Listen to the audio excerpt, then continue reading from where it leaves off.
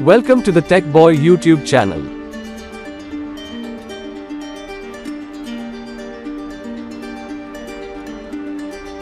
In this video, I will show you how to fix the right-click slowness issue on Windows 10. I recently faced a problem with right-clicking on my desktop, so I needed to resolve this issue.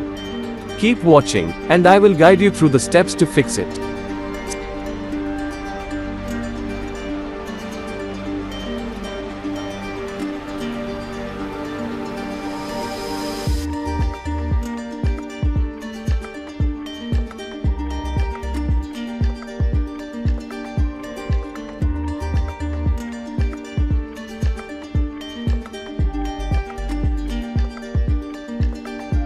Step 1. In the Start menu or the taskbar search box, type regedit and then press the Enter key to open the registry editor.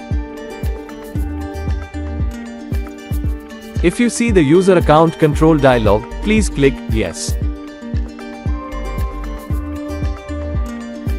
Step 2. Once the registry editor is launched, navigate to the following key, HKEYCLASSESROOT to directory to background to shell EX to context menu handlers.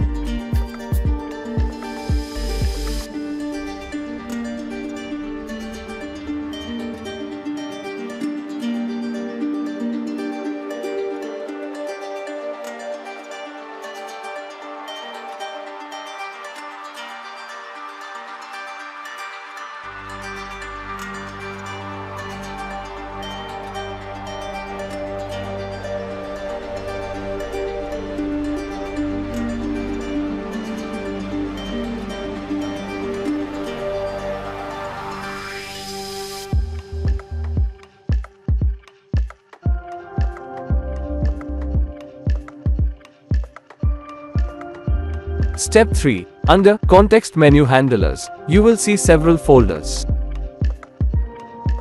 Step 4. Now, you need to delete the IPSKI and igfxDTCM folders.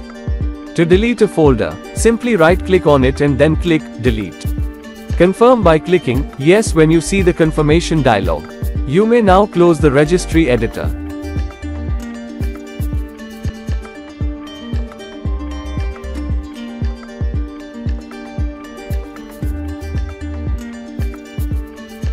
Step 5. The desktop context menu should now appear instantly without any delay. If it doesn't, please restart your PC. Now, the Windows right-click slowness problem should be resolved. I hope this video helps you. Please don't forget to subscribe to my channel. Thanks for watching.